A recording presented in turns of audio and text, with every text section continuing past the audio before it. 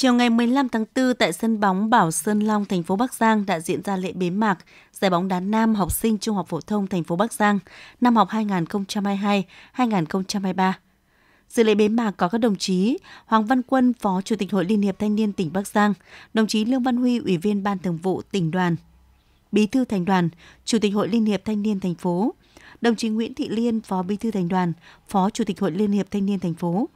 cùng các đồng chí ban tổ chức giải, bí thư, phó bí thư đoàn trường, thầy cô giáo các trường trung học phổ thông, bốn đội bóng đá nam và đông đảo học sinh các trường trung học phổ thông trên địa bàn thành phố Bắc Giang đến tham gia cổ vũ hết sức nồng nhiệt.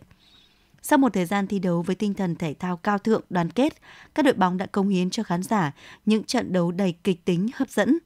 Rất nhiều cầu thủ có kỹ thuật tốt, khả năng xử lý bóng khéo léo, tư duy, chiến thuật nhanh nhạy đã mang lại cho khán giả nhiều pha bóng hay và bàn thắng đẹp. Kết thúc giải, đội bóng trường Trung học phổ thông Thái Thuận đã xuất sắc giành giải nhất. Tại buổi lễ, ban tổ chức đã tiến hành trao giải nhất huy chương vàng, cúp vô địch cho đội bóng trường Trung học phổ thông Thái Thuận. Giải nhì thuộc về đội bóng trường Trung học phổ thông Ngô Sĩ Liên. Đồng giải ba đội bóng trường Trung học phổ thông Giáp Hải và Trung học phổ thông Nguyên Hồng.